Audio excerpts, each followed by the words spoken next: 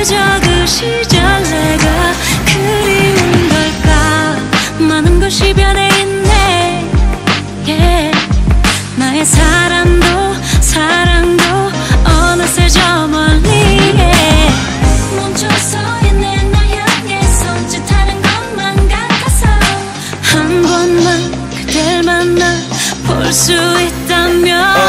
잔상처럼 떠다니는 기억. 잔잔했던 삶은 다시금 심장이 뛰어. 그때는 왜 이 소중한 것들을 알지 못했나?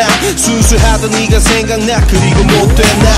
시계를 반대로 돌려놓을 용기는 없어 그저 오늘을 간직하려 헤매 년 지났어. 분명 지금을 또 그리워할지 모르네. 우리 늘 어제와 작별 인사를 걸어내. 다시 올 수 있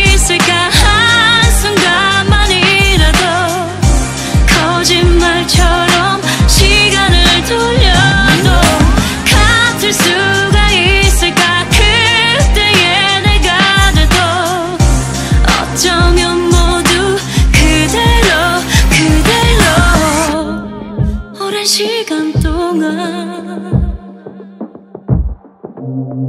잊고 있었던 말